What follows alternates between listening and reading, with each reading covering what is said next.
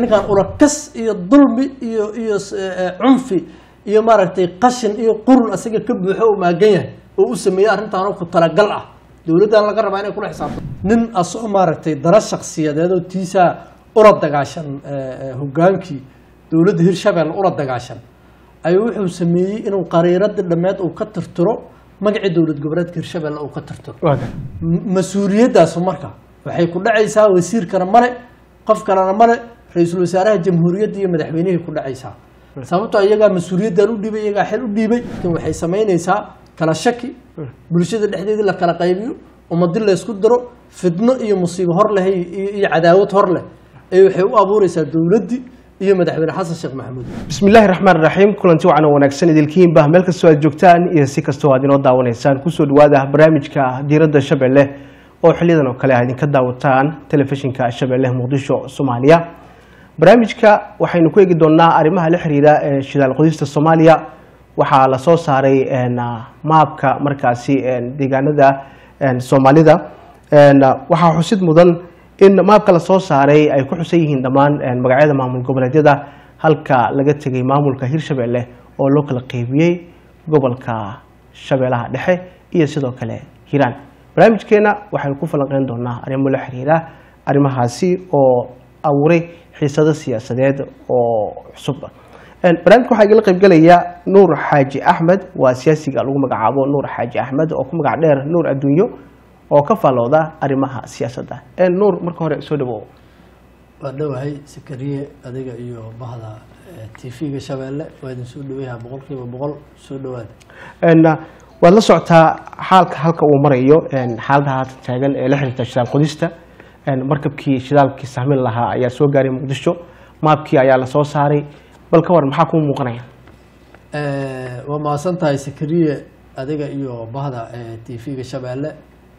Nihu arintaa shidaalka sahminta boqol kiiba boqol arrin mudnaan iyo maaragtay sharaf iyo karaamule laguna ammaano laguna taageero laguna garab istaago waayey dowladda federaalka soomaaliya uu hogaamiyo madaxweynaha jamhuuriyadda mudane xasan sheekh maxamuud.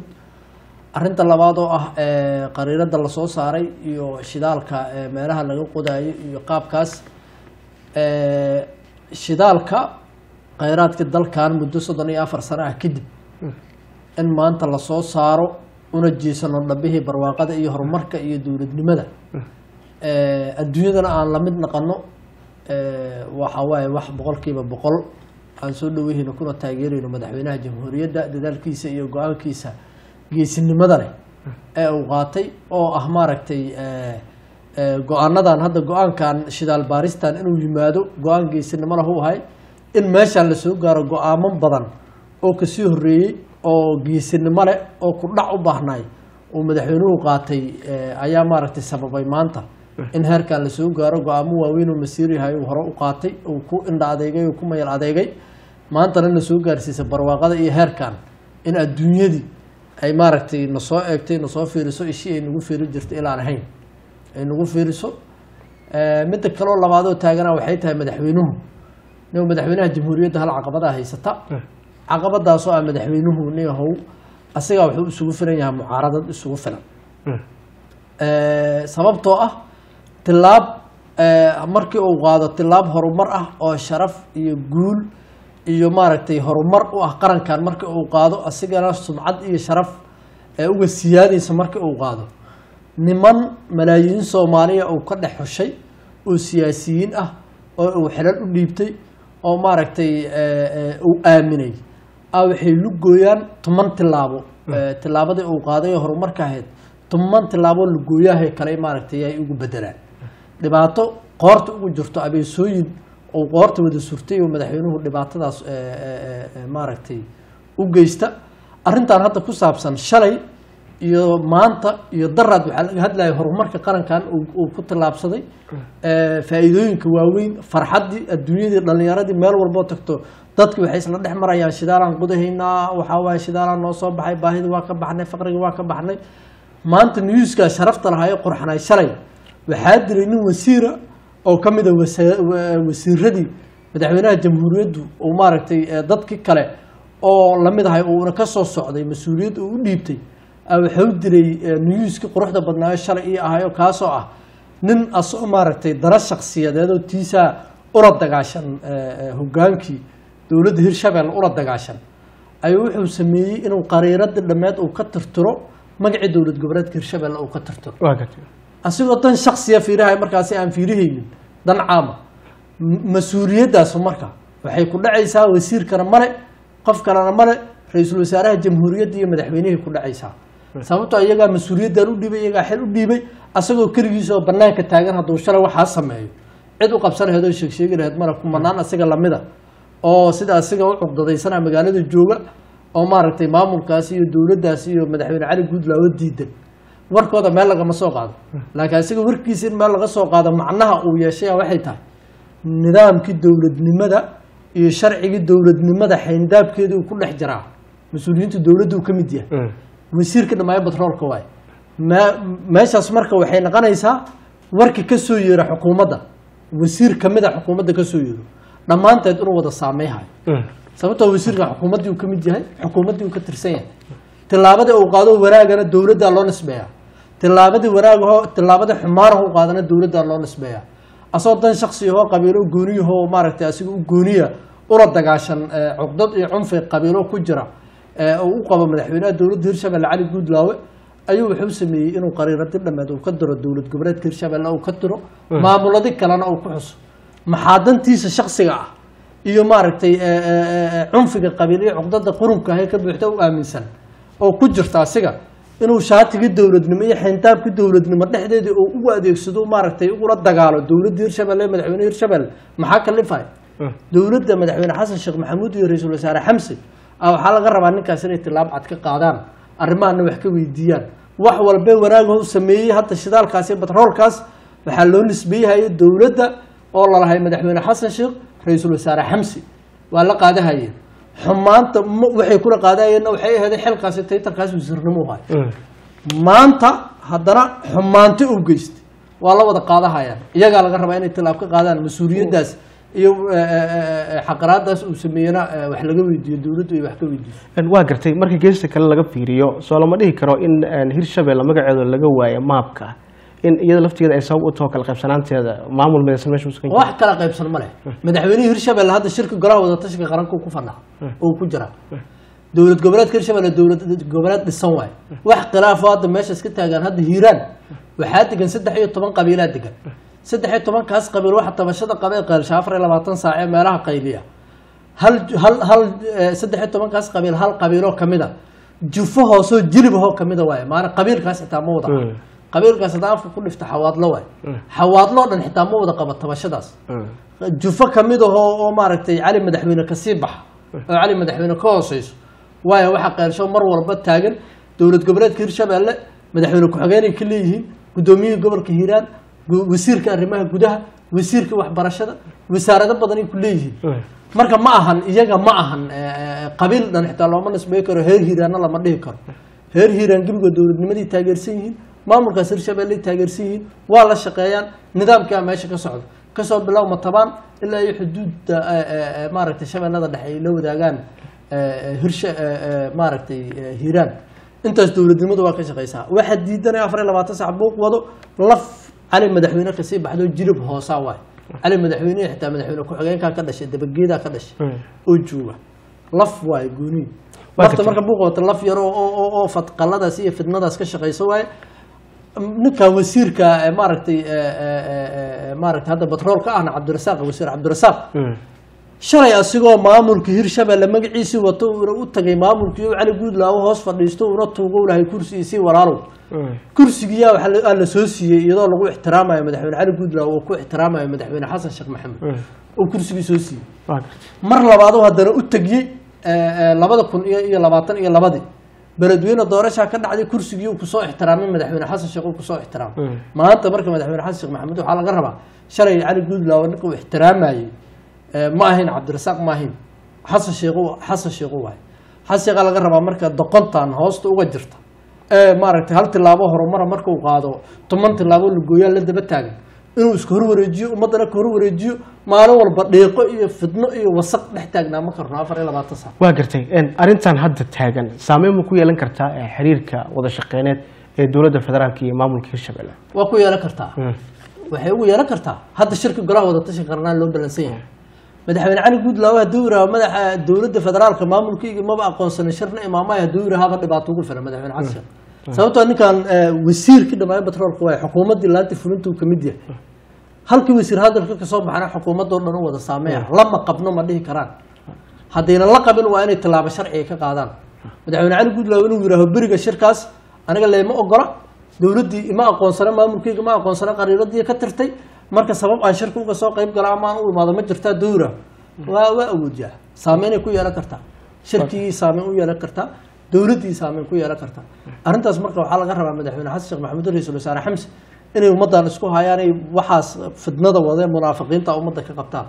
Waa gartay suurtagal ma tahay in wasiirka uu qiil u helo daawacadda maabkaasi oo la xiriirta yani een, ah, in ay wax khaldameen maya maya wax qiil ay u yeelan karta male hadday qiil u yeelan karto galmudugaa meesha ku qoran waa gartay hir shabeelle laba shabeelle ma markaas oo researchka la sameeyhayay xitaa maamulkan ma dhisnayn. Eh, eh, haddii la yidhaahdo ididaa lagu samayn karay. Boor la daabicay ahayn waxa meesha ku dheganayo qariirada ahay boorkaas la daabacay hiiraan iyo iyo meel shabeellena laga tiro waa lagu qori karay hir shabeelle waa lagu qori karay. Oo wax culaysaya lahayd ma lahayn. Marka ninkan ulakas iyo dulmi iyo iyo eh, cunfi iyo maaragtay qashin iyo qurun asaga ka buuxo uu maagan yahay oo u sameeyey arrintaan oo ku talagal ah. Dowladdan laga rabaa inay kula xisaabtanto ah, booraa la daabacay boorkaas idhidaa lagu samey karaa. Markaas laba kun shan iyo tobankaa research la sameeyey. Haddaa la daabacay. Waraa meeshaan ka dhig medal shabeelle iyo hiiraan ay ku qoran tahay. Hir shabeelle ku qor. Maxaa culaysoo ku jab. Gartay. ma ku jab. Wasiirka batroolka waa saaxiibada ugu dhow madaxweynaha jamhuuriyadda federaalk soomaaliya. Meeshaas ma laga dhadhisan karaa inay jirto siyaasad fog oo loola dan leeyahay hirshabelle oo ah in laba maamul loo kala qaybiyo maya maya maya madaxweyne xasan sheekh maxamuud marnaba kama go-no maamul maamuladan iyo dowlad goboleedyadan asaa dhisay juhdi uu ku bixiyey naf iyo maalow u horay riski badanoo u galay wixii uu riskigaa soo galow soo dhisay maanta inuu burburiyo ama u kala qaybsho xasan sheekh raalli kama ah arrintaasna arrin oo waxaa waaye eh, eh, eh, warxumo tashiila waay madaxweyne xasan sheekh maxamuud maamuladan asaa juhdi ku baxshay asaa naf iyo maal u horay maanta inuu maaragtay haddana burburiyo ma ma ma ma ma ka suurtoodo waa gartay. Arrintan maxay gobolka u horseedaysaa? Arrintan hadda wax gobolka hadda eh, wax culays oo oo eh, eh, gooniya hadda male laakiin waxay samaynaysaa kala shaki. Bulshada dhexdeedii la kala qaybiyo ummadi la isku diro fidno iyo musiibo hor leh iyo iyo cadaawad hor leh ee waxay u abuureysaa dowladdii iyo madaxweyne xasan sheekh maxamuud. Dad shalay madaxweynaha ay iswateen madaxweyne cali guudlaawe waxa waaye madaxweynaha maamul goboleedyada halka madaxweyne madaxweyne xasan maxamuud ugu dhow ahay ee xitaa yiri shalay asagoo mudaxiraad sharciya haysta. Ee shirki golaha wadatashiga qarankaasoo danta ma- maslaxada ummadda iyo maslaxada qaranka fiiraaya madaxdiisa iyo madaxweyne xasan sheekhna ixtiraamaya hal sano mudaxireedkiisa ninka ka tago wahay shalay. Ee uga tegay dantaas qaranka iyo madaxweyne xasan sheekh maxamuud darteed uga tego wahay gartay. maanta marka ninkaas iyo madaxweyne xasan sheekh aa la kala geeyo haya nimanu asaga masiirkii ummaddan xilkooda uu ku aamintay una rabaa inuu ku kala geeyo. Aa kala geeyo waay. Marka madaxweynuhu yax iska yidhaahdo doqontan cadaawada ah oo oo qoorta Waa jirto ummadda su'aasha isweydiinaya waxay tahay hirshabelle shidaal ma leedahay ceel shidaal ma laga qodi karaa? Waa leedahay waa leedahay. Meesha waxaa loogu soo qoray hadda meeshay ku qorantee gartay. ceelashiida aan lahayn. Hadda deegaano badan oo muuqda oo dadku ay sii ogyihiin ma jirtaa oo shidaal laga heli karo. Meele hadda maafkay ku qorantaaba waa ku jirtaa laakiin hadda muhiimadda horumarinta saddex saddex saddex baloog oo oo- oo- oo xoogaay amay sahlan yihiin la yiri yaa sahmin lagu bilaabay waana hirshabelle waa ku jiryaa maafkay ku qorantaaba waa ka waa gartay. Markabka hadda yimid sahminta shidaalka ilaa intee loo qorsheeyay inuu tago intaad ka warqabto nihow hadda saddexda baloogoo la sheegayo waxay ku yaaliin eh, waxay ku yaaliin eh, eriyadan ka bilaaw eh, eh, xuduudkan hirshabeelle iyo galmudug. Ka bilaaw ilaa iyo adiga soono hobyo eriyadaasay ku jiraan. Laba ceel waxayba ku jirtaaba dhulkan mareeg state la dhihi jiray. Eh, cego meel la yidhaaho iyo maamulkii eh, eh, mareeg state dhulkii la dhihi jiray. Iyo hal kale oo gadaaloo hobyo ku yaalla saddexdaas hadda fudud oo maaragtay eh, hadda qariirada ku jirto saamintoodana ay fududahay amnigoodana xoogaay uu sugan yahay oo maaragtay laga shaqey karaa Een, soomaalida hadda waxay ku heshiin laadahay ceelbiyoodyadii ceel shidaal ma ku heshiin kartaa? Ceel shidalo ku heshii kartaa. Waxaa siyaasadaas siyaasad oo dadkii cadaawadda ummadda soomaaliyeed qabay oo dadka isku diri jiray ay wadaan waay. Ceelkan ceel shidaal waayo badda dhexdeeda laga qudu wahay Mm. Soomaali maamulkeeda ee, ee, ee, gacanta maba maba maba u soo galayaba dowladaa la siiyey turkiya awood leh maraakiibteeda dagaalkay wadataa ciidankeedii wadataa diyaaradeedii dagaalkay wadataa dowlad soomaaliyeed oo jirto sharciyad haysataa heshiis la gashay iyadaa qodaysa iyagaa soo saaraysa iyadaa dhoofihaysa dowladda soomaaliyana iyaday u wakiilatay iyo heshiis kula gashay. Ah. marka wixii walax maaragtay caag biyaha oo suuqa bakaaraha yaalla maaha shidaalkan sabab marka la isugu dilo ama la isu maaragtay eh, waxya ma jirto. Haddii la yidhaahdo dowladda soomaaliyana maamulaysa deeqahaas oo maaragtay eh, shaqo ku leh eh, khayraadkaas dalka kuwiisaa haddaba deeqo badan oo dowladda ay maamushaa jirto. Adduunyada ka yimaado dowladda dhexe ku soo dhaca. Oo la keeno maamulkeeda u kala qaybisa dowlad goboleedyada iyo maaragtay sida loo kala leedahay- dowladda soomaaliya iyo dowladda turkiga soo lama dhihi karo waxay sameynayaan qare iska tuurnimo sababta ah soomaaliya soddon sano dagaala ka socday. Dagaalkeedana waxaa la sheegay inuu salka ku hayay arrimo shidaal oo wadamo badan oo caalamka ka mid ah iyo hay'ado caalami ah iyo shirkado caalami ah ay kor ka wada fiirsanayaan. Marka arrinta hadda sida fudud turkiga shidaalka uu kaga baaraya soomaaliya soo uma dhici karto in hay'ado kale iyo wadamo kale oo caalamka colaad ay soomaaliya colaadinayaan in dhanka kale ay ka furaan aag dagaal. Hadda garaad xumadi hore naguma jirto. Soddonkii sane waa ku soo gudubna hadda soomaalida oo dhan waa bislaatay. Mm. Cadaawo eh, wadamo shisheeye iyo adduunyadan hadda quwadaan laysu adeegsado waaya annaga hadda dadkan wax u dhiibanay dowladdan wax u dhiibanay Mm. dowlad marasahoo daagta oo taag daran maaha. Dowlad awood leh awood ciidan leh awood dhaqaalo leh awood maaragtay kale leh gaashaanbuur iskaashi leh aan la soo haweysan karin waayo marka waa ku filan tahay dowladda wax culays laakiin ugu yaraan xasarada ayay ka kicinaysaa gobolka east africa. Maya ma wax xasarada ka kacen ma wixiigaan la soo baxaya ma xasarada maahe yaa xasarada yaa waxay kala dhexeen wixiigaan iskale anaa soo saaray. Ciraaq waxaa loogu duulay arrimo shidaal yemen arrimo shidaal dagaalkeedu u socdaa wadamo kale sidaas oo kale. Soomaaliya maxay kaga duwan tahay wadamadaasi weliba ay ka liidato soddon san dagaal ay ku jirtay. Waxay uga duwan tahay soomaaliya wadamadaas eh, arrimo kale oo maaragtay eh, si kale ahaa goorba iska jiray. Laakiin annagu wadan suukuray hadda soo baxayaan. Adduunyadaas oo dhan hadda wadan ana saaxiib leeyahan ma jirto. Wadankii shidaalkaas keenaa u baahdana waa la siiyaa. No problem culays kama taag marka anagu dhinac walbaba waa u seexan karnaa hadda oo siyaasadeyni eh, arrimaha dibadda. Nin madaxweyne xasan sheekh maxamuud la yidhaaho oo maaragtay eh, eh, si u xaluusha yaqaanaa hadda gacanta ku haya marka culays ka gartay. Een, sidaan wada ognahayba dagaalka adduunyada maanta ka jira waa shidaal oo salka ku haya shidaalka lagu dagaalamaya soomaaliyana iyadoo dowlad sal adag aan lahayn ayay shidaal soo saaranaysaa. Kalsooni intee leega dowladda federaal ku qabi kartaa in turkiga uu difaaco. Shidaalka soomaaliya ay soo saaraysa. Hadduunan difaaci karin mas'uuliyaddaas maba qaadanaynba loomana dhiibi lahayn. Waxaa loogu dhiibay intaasoo quwadooday adduunka dowladeed looga soo xushay ee asiga loogu dhiibay asaguna uu u soo qalab qaatay. Waa inuu difaaci karo amnigiisa uu sugi karo mas'uuliyaddeedana uu qaadi karo gartay Ah. maalin walba waxaa la qarxiyaa tubooyinka shidaalka qaada ee nigeria waa wadan dowladda ay ka jirto. Marka soomaaliya sidee loo xakameyn karaa? Laysku qarxiyay siyaataas kaas biriguu ku jiraa hay kan baduu ku jiraa hay marka wax culays uu leeyaha male kaas biriguu ku jiraa dowlado iyo maaragtay dadkii iyaga dhexdoodii hayaa maaragtay haddana iyagaa tirada ka batay. Annagu dad soomaaliyeedaan naho hadda shaksigaaga adiga waxaa laga yaabaa intaasoo milyan inay ku soo gaarto. Marka dadkaasu dad tiradii ka batay gacmo shisheene ay ku dhex jiraan siyaasado isdiidan dhowr iyo toban dowladood wax walba mid walba la yidhahdaa iskale waxay isaga daba yimideen oo fidnaaho fawdaaho haddana beriga ku yaalla waay. kan badda dhexdeeduu ku yaallaa igaar diyaaradayo maraakiib iyo iyo hub culus iyo iyo iyo wata waa joogaa igaar mas'uuliyaddaas qaadi karoo ku filan oo gaashaanbuurta adduunyada ugu waaweyneed haystana waayahay maxaa faa'iidaha soomaaliya ugu jira in la qodo faqrigaan ka bixi lahayn Mm. kaalmadan adduunyada aan tuugsay inaan ka bixi lahayn ciidamada inaan noo dhismi lahay jidadkan eh, eh, lagu dhib qabaan noo dhismi lahay garoomo waaweyn aan noo dhismi lahay dekado waaweyn aan noo dhismi lahay dalkeenaa wuxuu la mid naqlahay waddamada waaweyn oo adduunyada sidii eh, ingiriiska iyo maraykanka oo kale uu la mid naqlahay haddii dhaqaalahaas ay heli lahayn hadda waxaan ku taagannahay waa kab maaliyadeed oo adduunyada ay nooga timaado iyo walax yaroo maaragtay soomaalida canshuurta oo laga araruuriyo laakiin khayraadkaas keena hadduu noo soo baxo amnigeena noo sugmaayo horumarkeena noo sugmaayo dalkeena noo dhismaayo jidadkaa noo dhismaayo caafimaada la helaa lacag la'aan waxbarasho lacag la'aan la helaa nolol oo maaragtay macno laho lacag la'aan ha leela sida wadamadan ilmaha carabeed ay u nool yihiin aan u noolaa lahayn hadduu noo soo baxo eh, dhaqaalahaas. Waa gartay een, soomaaliya waxay ka kooban tahay isteedyo dowlad goboleedyo. Puntland dowlad heshiis lama aha. Jubbaland sidaas oo kale yacni sidee suurtagal ku noqon kartaa in qayb ka mid a soomaaliya shidaal laga qodo?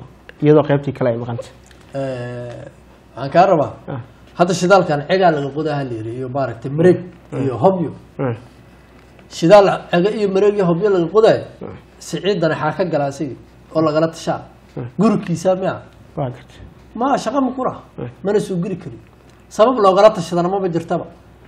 Dowladda federaalka ah adduunkan ka mas'uula khayraadkaas dalka soo saaristiisa heshiisyada caalamiga dowladda federaalka ka mas'uula dowladdii federaalkana gacanta ku haysa. Meesha hadda shidaalka laga qodayo la sheegaana waa mareeg iyo iyo- iyo maaragtay ah, iyo hobyo. Shaqana ku male mana faragesho kariyo wax laga weydiiyayo talaahu kuleeyahana male. Waa nin gowracan oo hadba geed isaga rig gowracan geed ka muwaawataa la jiray bartii uu taagan yahay marba meelow ku saantumaa hadda waxaan uu sheegayo maanta maruu hadlayaan maqlayo qariiradan iyo waxyaabahan uu ka waramayo laba kun asiga markuu wasiirka qorsheynta ahayo qoray waxaan. Mm. oo maanta dowladda dhexe iyo dowladda federaalka uu ku eedeyahay xilligiisi wasiirka qorsheynta u ahay uu ka shaqeeyey waxaanuu qoray. Asuu maanta rabaa inuu dowladii ku dacaadeeyo waxaa kaloo yiri waxaan taageeraa jubbaland. Jubbaland ha iska taageero walba qaraabay ahaayeen way isxigeene qoorqoorna cali guudlaw ha taageero labadooda ha isku xirtaan. Nuur, waxaan rabaa inaan ku weydiiyo. in shidaal laga laga qoodo soomaaliya miyaysan ahayn iishu qaran iishuu qaran waayo dowladda dhexaana ka mas'uula madaxweynaha jamhuuriyadda loo doortay ra'iisul wasaare uu leeyahay dowladda federaalka ahaana mas'uuliyaddaas iska leh. Dowlad goboleed dowlad goboleedyada sooma lahaa tale iyo tusaale iyo fikir iyo habkii loo qaybsan lahaa khayraadkaas Waxa- maya maya dowladda dhexe arrintaas mas'uuliyadeeda iska leh. Dowladda dowlad goboleedyadu waxay ku leeyihiin maadaama dowlad goboleedyadooda qa- laga helay deegaanadooda laga helay. Saami boqolkiiba wixii loogu talagalay ah oo loogu talagalay inay maaragtay eh, howlahooda gaarka ay ku qabsadaan laakiin khayraadka dalka gudihiisa ah haddii macdanta iyo shidaalka iyo waxaas la soo saarayo ah mas'uuliyadeeda iyo heshiiskeeda dowladda federaalka iska leh. Sida hadda ay wax u socdaan oo yani qaabka hadda ay wax u dhigmayaan iyadoo dowlad goboleed qaar ay maqan yihiin oo tilaabooyinka la qaadayo sabab muuqanaysa in ceelasha shidaalka meesha laga qodaayo in ay yimaadaan soomaali meel walbay joogto inay isaga timaado xagga ay dhigato ninkii xoog leh iyo ninkii kalaba ceelka barri maa la keenayo. Mm. Laakiin berigii waa imaanaya waa ku qasban yahay ma waa la dhoofiya ceel waxaan fiiri meesha haddana hadduu yimaadana meesha eh, eh, qabiilaa degan oo hadda iskale oo degan oo jooga oo awood leh. Eh, qabiilkaas ma meesha laga barakici ah Ah. yaa ka barakici kara oo soo dhawaa kara deegaankayga wixii ka soo baxay ma aniga cid ugu qabsan kartaa dowladda dhexe ha maamulayso dowladda dhexe ha maamusho deegaankayga wixii ka yimaadna laakiin mas'uuliyaddeeda laakiin dowladda dhexe ilaa haatan istaraatiijiyad muuqata oo lagu qanci karo oo ay soo bandhigtay ma jirto. Waxay soo bandhigaysaa minaa lagu jira hadda weli. Dadkan degdega ku jirto. Eh, dadka maaragtay waxaas ka shaqayhaya hadda maanta fitnadaas iyo musiibadaas abuurayana dad waxaa waaye daraqaasa eh, ka raadihayo maslaxadaas qaranka iyo guushaas qaranka uu gaaray aan u muuqane dantooda qaaska ah kaliya u qaylihaya waay. Mm. marka waxaas wax loo joojihaya maa culaysna male gabagabadaas la soo gaarnay fariintaada ku aadan arrimaha la xiriira dhanka shidaalka iyo maabkan la soo bandhigay ee hirshabelle ay ka maqan tahay maxay tahay? Arrintan shidaalkaa naloo qodo aan dharagnu baahidaan uga baxaynaa faqrigaan isu dulayno soomaalida hadda nimankan shabaabka ah oo juqda ku jira ee dagaalamaya waxay u dagaalamayaan inay juqda ugu jiraan baahi haysa soomaali inta badanna boqolkiiba dabaqad dhexe wax la yidhaha ma qabo dabaqad sare oo dadka ladana iyo dabaqad hoose oo dadka hooseeya ah. Shidaalka haddii la qolo dabaqad dhexa abuurmi lahayd oo culaysaadkan iyo baahidan iyo waxaan isdilka iyo iska dabawareegan siyaasiyiintan xitaa hadda qaylaha ila dhargaan ay xukunka iska dhaafi aan kaa dhex shidaalka amuu noqdaa mid dad gaara loo xiro maya maya saa loogu xira maba loo xiri karaba dowladda dhexe dowladda dhexe dad gaara miya Ah. dowladda federaalka dad gaara miya laakiin ganacsato gaara loo xiraa maya wax gaar- shirkado ah. maya dowladda dowlad dowlad kale heshiis kula gashay Mm. dowladdaas dhexaa qodaysa dowladdaas dhexaa dhoofintiisa qaadistiisa wadanka laga gadoo la geeyhayo intaas dowladdaas dhexaa amnigiisa mas'uuliyadeeda dowladdaas lagula heshiiyey. Aa amnigeeda mas'uuliyadeeda iskale marka shirkad loo xiri karo haddii shirkad haddii dad gaar ah loo xiraa leeyahay dowladda eh, federaalka deeqaheeda iyo waxeeda maa dad loo xiro gaara. Dowladda dhexe maamulkeeda iskale idaa maamul looga raba cid loo xiri karana male cid xereeysana male cid damaaci kartana ma jirto. Adiga dhinacaagaad ka dhoofsaya dhinacaaga ka soo diyaargarow Een, ah, Ah, taas aan kaasii dhexgala maadaama aad dhahday dowladda maamulaysa. Nidaamka dawliga soo kuma dhisna awood qaybsi iyo wax qaybsi qaab nidaam wax lagu kala qaybsado. Hadda dowladda dhexe saas uma qaybsano. Eh, dowladda dhexe waxaan kuu sheegaya dowladda dhexe maamulaysa aan kuleh eh, dowladda dhexe waxay tahay eh, dowlad federaal ah oo oo- oo soomaaliyad oo dhan ka wada dhex muuqato. Soomaaliyad oo dhan u wada siman marka een, shidaalka laga soo saaray hobyo een, wax dheefkiisa garow waa gaaraya garow u gaaraa kismaayo u gaaraa baydhabo u gaaraa xudur Ah. hargeysa. Ah, meel uusan gaarin male xitaa jabuuti waa gaaraa iyo iyo iyo kelinka shanaad iyo jigjigo gartay arrimaha maabka maabka arrintiisa horaan uga soo hadlay arrintaasna waxaa laga rabaa madaxweyne xasan sheekh maxamuud ra'iisul wasaare xamsa laga rabaa inay go'aan ka gaaraan. Arrintaasna ay soo gebagabiyaan. Gartay Ah. aad baa umahadsan tahay kaasina waxa uu ahaa siyaasiga lagu magacaabo nuur xaaji axmed oo ah falanqeeye dhinaca siyaasadda oo igala qayb qaadanayay barnaamijka diiradda shabeelle guud ahaana barnaamijkeena intaas ayaan ku soo gabagabeynayaa tan intaa dib u kulmi doono barnaamij ka la mid ah dhabaadiin